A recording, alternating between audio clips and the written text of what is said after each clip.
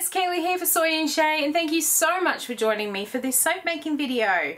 Today I am going to take you along as I successfully make the soap that I was trying to make in my last video and that is a cucumber and sea salt spa bar. I have learned from my silly little errors and um, the things I wasn't quite thinking about when I made that particular soap and I now have a bar of soap which I am happy to put out as part of the luxury range. Before we go and have a look at how I make it and also learn about something else that I learned about while making this um, this particular bar of soap I wanted to give you a bit of a background as to why I really wanted to create this soap as a part of the range. In early December, hubby and I went for a little getaway out to a place called Stanthorpe, which is in outback Queensland. I say outback Queensland, it's about two and a half, three hours drive away from here. It's um, remote enough that um, the amenities or the big cities are not close by um, but they still have a lot of um, tourist destination things there. And one of the places we went to was a place called Washpool Soap. And Melissa was kind enough to take me not only through all the shop area but she also took me through all of her making area storage area and everything else. And then once we'd gone through that I was able to go through the shop and I had an absolute field day picking out all the different different things that I actually wanted to buy and try. And I ended up picking up quite a number of different soaps and mainly because I liked the smell, I liked the look, I liked um, the colours and things like that. And when I was looking at them once we got back to our hotel room I realised that I'd actually picked up three different salt bars. And I love a good salt bar and I gave one to hubby and I kept two for myself.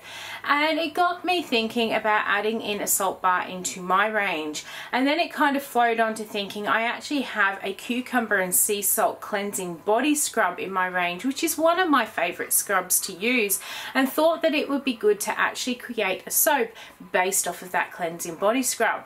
So let's go and see how I successfully make this soap. Let's go! Alright, so we are all set up for attempt number two at this soap. And in my bucket here, I do have my oil mix. Now this is different to my usual oil mix that I use. I have added in a bit of extra oil from that last soap so we can make sure that we are filling this mold up. This particular oil mix is a lot higher in um, coconut oil and that is because salt is notorious for killing bubbles in anything. And because we as a society have been conditioned by big companies that we need bubbles to clean, which is a complete fallacy. Um, we need to create bubbles in this mix as well otherwise people just get very very disappointed. So for this one I am using a lot higher um, coconut oil to compensate the cleansingness of coconut oil. I have increased my super fat on that on this. So that means I'm actually using a little bit less lye water than what I normally would so that not all of this oil is going to turn into salt or into soap. And that will then mean that some of those oils will remain to help stop that dryingness that the high coconut will um, will add to this soap.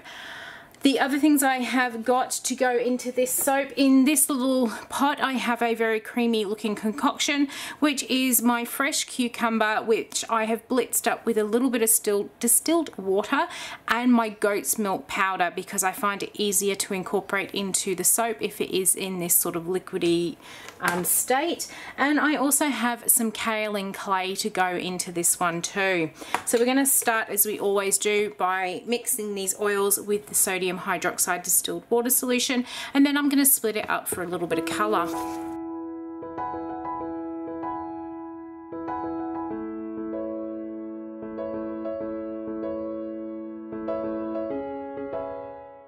Before I do split it up for the colour, I am going to add in my kaolin clay and I'm also going to add in the cucumber and goat's milk solution as well.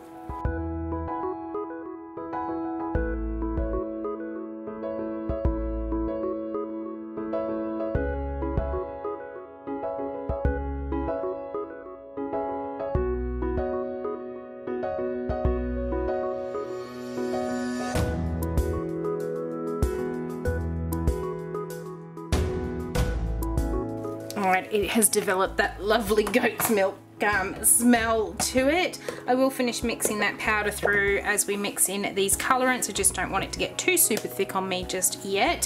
What I have got in this jug here, I have got some titanium dioxide and I'm just gonna split off a good portion of that one now. Pick up all my little drips. We'll get that titanium dioxide mixed in so that we don't get any colors because I then need my stick blender again.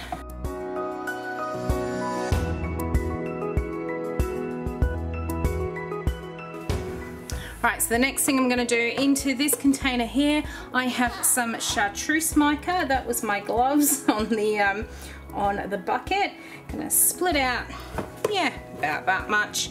And into my big container here, I am going to put in, this is a little bit of sea mist mica from my Mica Obsession. So we're gonna have the two greens and that little bit of white. In fact, that's heaps of mica, so let's get those colors mixed in.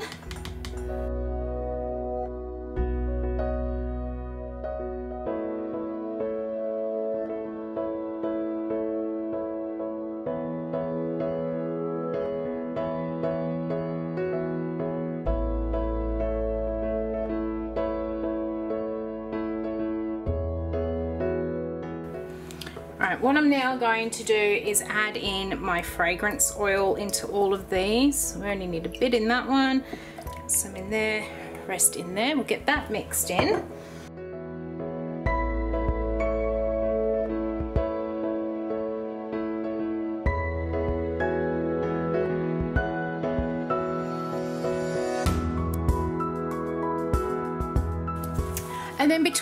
These two bigger containers, I am going to separate my salt out.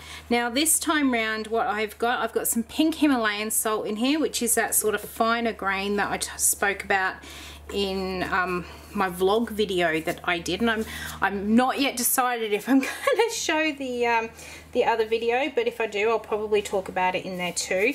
I didn't have quite enough of the Himalayan sea salt so I actually took the um, same sea salt that I used in the kind of faux pas soap and I blitzed it through the um, through the Nutri Ninja so that it was a nice fine grade salt so it should be nice and exfoliating. I'm still really concerned about the other salt that I the other bar that I did whether it's going to be too rough on the skin.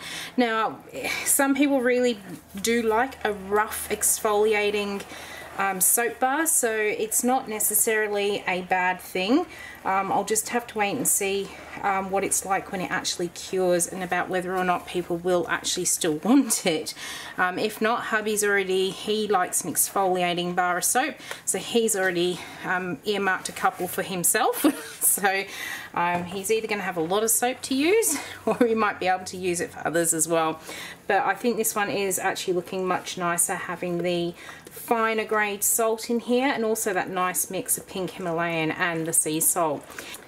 So there's a good reason why I've not put salt into the into the white one. Now on that last bar that, or the last soap that I made, I put the white across the top and I really didn't like how it came out. So this time I'm going to do a drop swirl with it. But the reason I've not put the salt in there is because as I said before, salt will kill the lather of the soap.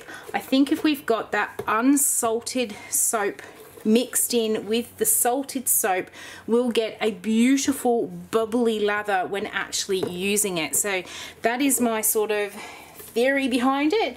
Whether it's going to work or not, well, that's a whole other story. But when I did do a little bit of a test with the failed, well, I'm calling it a failed batch, when I did a test with it, it was super bubbly and that was the bit that I had with the white on the top of it. So that is what I am hoping to achieve.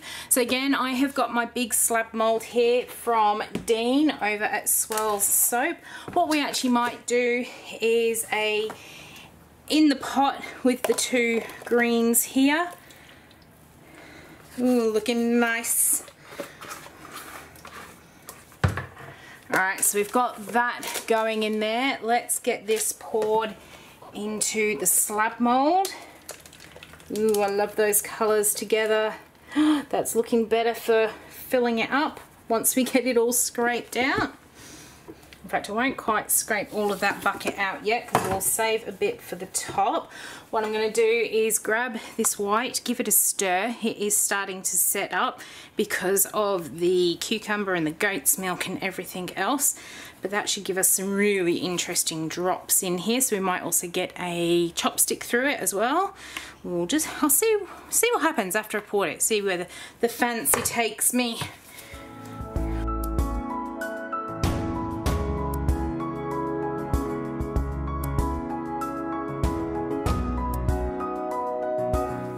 Yep, the fancy's taking me into chopstick land, so let's give that a swirl like so. Get right into those corners. And then it's time for me to get these scraped out and this size soap is looking much better than my last attempt so I must have the right amount of oils this time.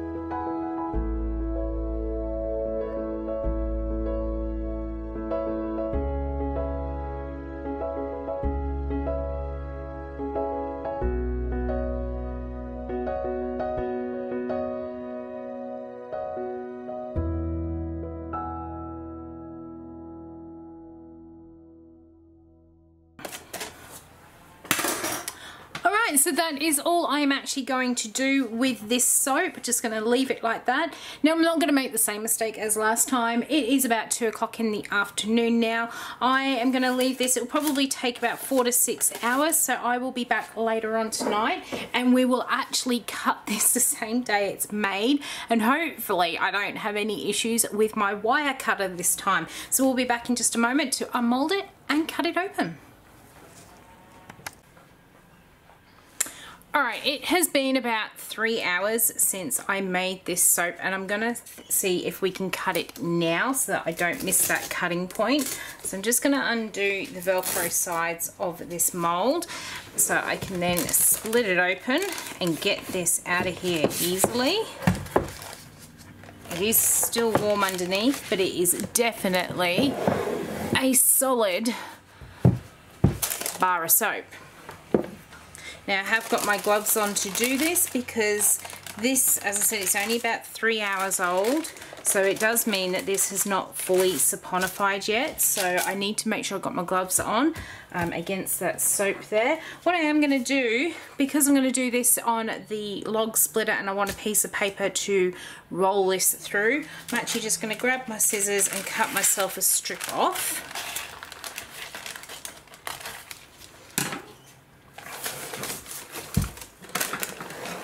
Look at that colour. It is looking absolutely gorgeous. And it smells so good. I'm really sad.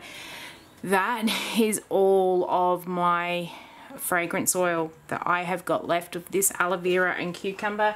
It is the Nature's um, Garden one, which unfortunately they now do not ship overseas. I went to see if I could get some more from the place that I actually ordered that one from and it's all out of stock and I don't know if she's going to get any more in. So I'm going to have to be fairly frugal with what's left and then try and find a suitable alternative.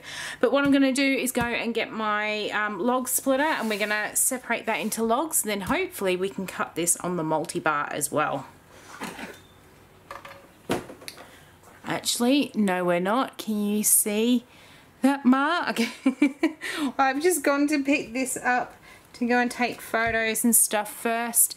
And luckily and I've just put my finger into that bit. That is the only soft bit of this soap. The rest of it is hard and what I'm thinking is that is the white bit that didn't have any salt in it. So it just needs that extra little bit of time. So I'm going to leave this one sit here for about an hour. I'm going to go and feed the dog and then I will come back and we will get it cut. Thank you.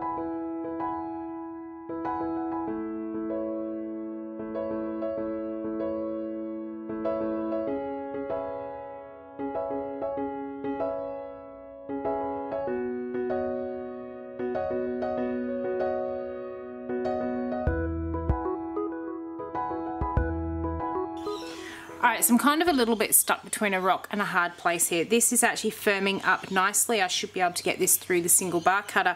But you can see some of this white here is still really soft and it seems to be where there's big patches of that white and um, where it's nice and wispy, it's not runny. That is another really good reason why you should be wearing gloves when you are handling your salt bars because you just never really know if you have got that right time to cut. Um, you do need to cut them a lot sooner than a regular bar to make sure that your cutter will go through to make sure that it's not too crumbly. I'm sitting right on that very edge it is almost at a point where it is going to be too crumbly to cut so I really need to get these ones cut now. So I'm just kind of going to hope for the best that we don't have any sudden um, melted soap. But I am loving this one. In fact I am loving this more than what I did the original one. Really really loving these colors. Now what I'm going to do when I put these out I don't often do this but I am going to put them back together the way, it doesn't have to be the exact way that they're getting cut, but what I want to do, because this hasn't saponified, I do want to make sure that this finishes its process, so I want to keep it nice and warm. So I'm just going to let it sit and do its thing overnight and then tomorrow I'll be able to separate them out and then pop them onto the cure rack ready for curing. Never stamp my salt bars because they're just too hard. So you can see that one there, the white in there is still a little bit runny. We won't touch it, we'll just simply join those pieces up together and then overnight it should do its thing there is absolutely nothing wrong with it it would just simply be because there is no salt in that white bit but as I said I do want that sort of unsalted bit to provide that really beautiful lather that we're going to get from off of this bar. Alright, so I am much happier with how this particular soap is coming up. I am loving the colours. Um, much nicer design than my other one, loving the full size bar as well. Now if I do keep these, I want to actually keep these as a permanent sort of um, side of my luxury range, um, but I may even see if I can find maybe some individual cavities or see if my tall and skinny will give me a similar size bar as well because I think doing these in the slab mold are probably not such a good idea because I think when you actually look at the soap, the edges of the soap have hardened a lot up a lot more than what the center has which makes sense because the center of the bar is a lot hotter is going to take longer to actually saponify and to set up and that sort of thing.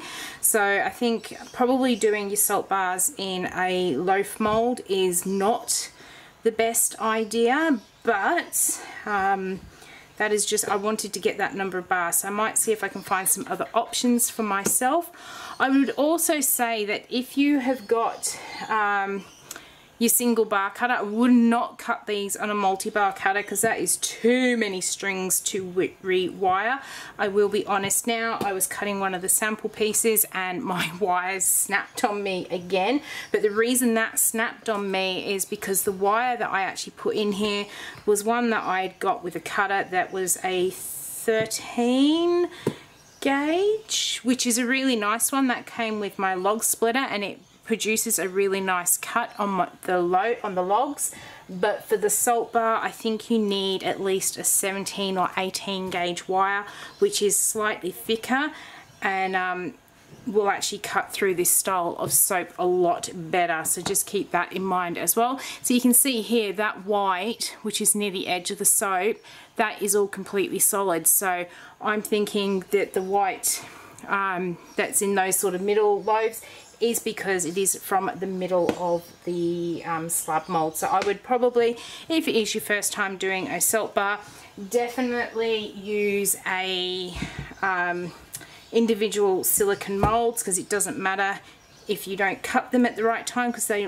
will just pop out nice and easily. So I am really, really happy with this, as I said. I hope you have enjoyed watching how I made my salt bar and I hope you learned a thing or two from my mistakes. If you did, why not leave me a thumbs up and any comments down below.